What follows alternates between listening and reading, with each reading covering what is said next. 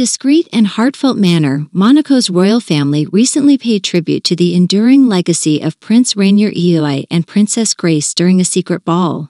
The event was attended by members of the royal family and served as a poignant reminder of the profound impact of the beloved couple on the principality. Prince Rainier III and Princess Grace, the former American actress Grace Kelly, are iconic figures in Monaco's history.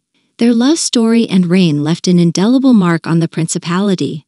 The secret tribute ball was an opportunity for the family to celebrate their enduring legacy.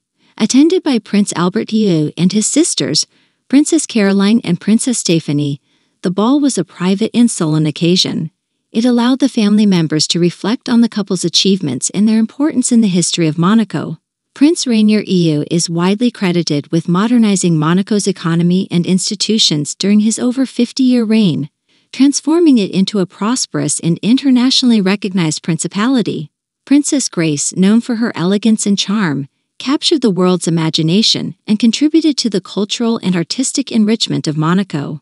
The tribute ball emphasized the enduring values and contributions of Prince Rainier and Princess Grace, reflecting on the importance of the royal couple's reign and love story in shaping Monaco's identity.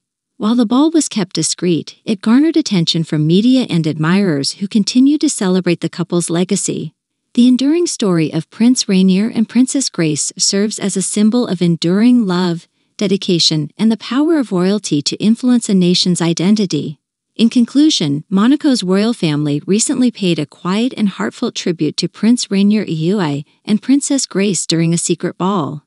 The event allowed the family to reflect on the couple's achievements and celebrate their enduring legacy.